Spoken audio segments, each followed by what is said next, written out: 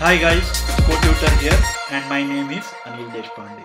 In the previous video, we have seen how to retain the state of the activity when the screen orientation changes. If you observe the common theme across all the situation was we always had only one fragment regardless of the orientation of the screen. If I can rephrase it, I can say that regardless of the orientation, there was a same layout that was used to inflate the fragments in the activity. But what if I want to use different layouts depending upon the screen orientation? That is, in the landscape mode, I would rather use a layout which supports two fragments you have to understand not so subtle differences that it will bring in in your development. In the landscape mode, right now you are displaying both the fragments. But however, in the portrait mode, at any point in time, you either display one of the two fragments, not both of them together. Especially with the introduction of larger screens like tablets and different screen sized mobile devices, it is important that we understand how to support multiple layouts in Android application and that is what we will be doing in this particular video. So let's have a look at code which supports a single fragment container. You have a frame layout which acts as a fragment container in which we are rendering our fragments. This frame layout is actually a part of activity underscore main.xml file. This particular layout file is under the folder layout. Any layout file that is under the layout folder are applied to both landscape and portrait mode. There is no distinction as such. And when you have layout files in the layout folder, if the screen is rotated to landscape mode, the screen just gets stretched out for the landscape screen. That's all. That is how Android framework deals with landscape and portrait mode if you have not provided different layouts for the different screen sizes or different screen orientations.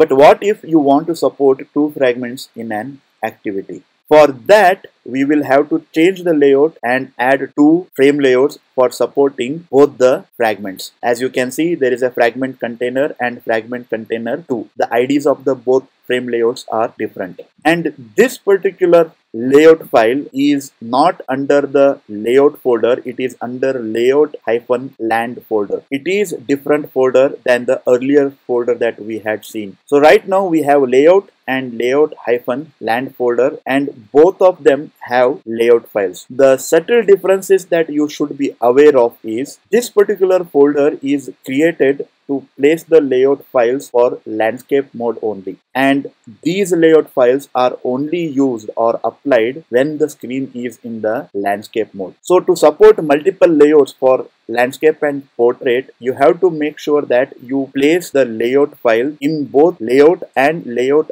hyphen land folder. But you have to make sure that you use the same file name for both the layout files. And if you just do that android framework will make sure that depending upon the screen mode it will choose the appropriate layout file to inflate the activity. To understand it further let's get into a demo.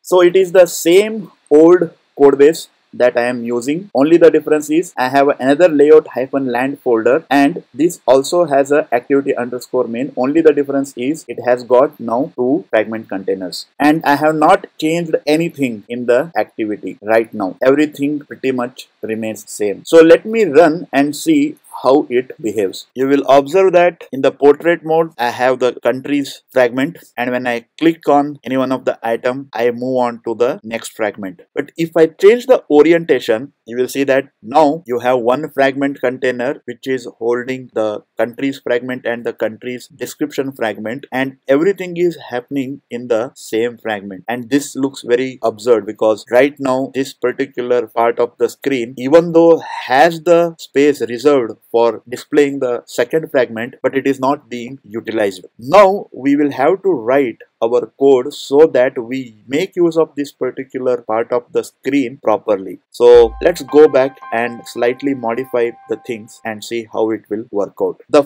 first thing that we will have to do is find out a mechanism to understand which particular layout is actually being used when a particular screen is being shown. So if you go back here in the normal layout file, I can add a ID activity underscore main underscore say portrait and there will be another activity underscore main under the landscape folder. And here I will have a another id activity underscore main underscore landscape. So this will give us an information in the main activity which particular layout is actually being used. So i can do if find view by id r dot id dot activity underscore portrait is not equal to null. That means the screen that is being shown is portrait. Else if find view by id r.id.landscape then the screen that is being shown is landscape. But going further adding of the fragments and replacement of the fragments will have to slightly change. This particular logic will now go inside the, the logic of whether the portrait or the landscape layouts are rendered. So if saved instance is null that means activity is getting loaded for the first time we can add the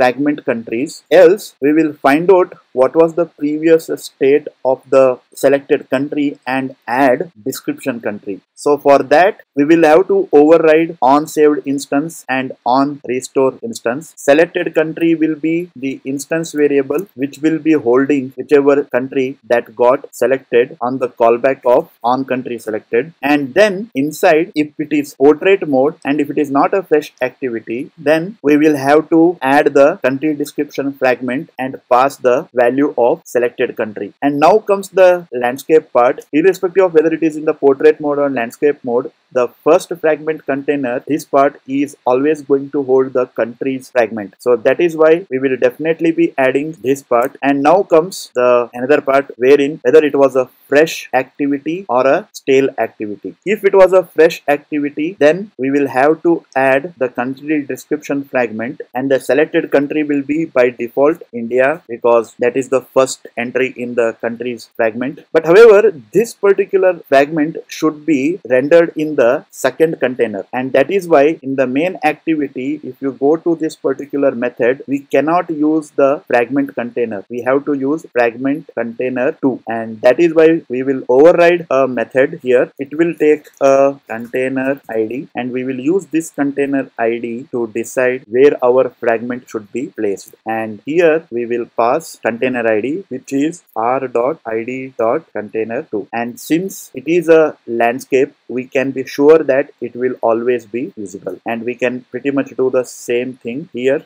And now here in the on country selected, once again the logic would slightly change. Instead of simply adding the country description fragment, I will check whether if it is not a landscape, then I will add in a normal way. Otherwise, I will pass the ID of the container and then the country. And another subtle change that you will have to make is in the country description fragment, in the on activity created, this will always work out only if it is a fresh activity. If it is a stale activity, then we will have to use old selected country that was being displayed earlier. So what we will do is if saved instance state is not equal to null that means it is a stale activity. We will get the selected country name and then if it is a fresh activity we can always get it from the bundle. And we can override the on save instance state and in the out state we can put string and selected country and the country name. So if you are doing this then in the main activity if activity is stale you need not have to even send selected country.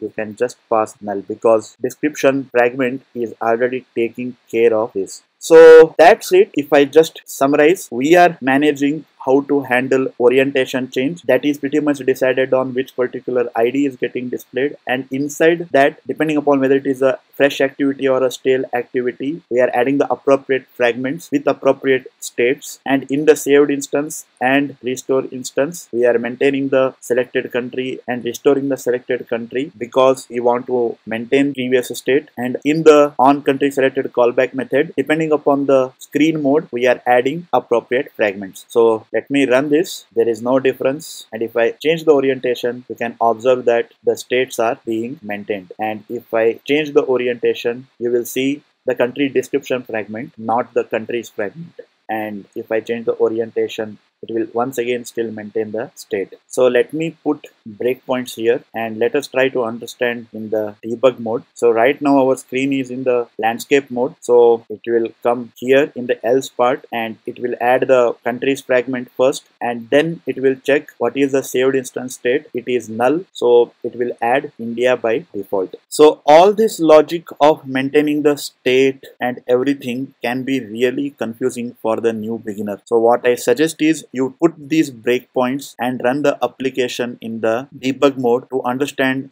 how the logic is playing out. So far what we have seen is we are managing the state of the activity. But what if we don't want to manage the state of the activity? That is you might have put config changes attribute for the main activity for the orientation change, screen size and keyboard hidden. In that case what will happen? So let me run the code now. In the portrait mode everything seems to be working fine. But if I change the orientation whatever the earlier logic that we had written it seems to be not working because our activity is not getting recreated on saved instance and on restore instance is not getting executed. So whatever the logic that we had written will only work fine if we intend to manage the whole activity lifecycle on our own. If we don't want to do that and if you have put this particular attribute in the main activity, the only method that is getting executed is on configuration changed and every time I change it, it is only this particular method that is getting executed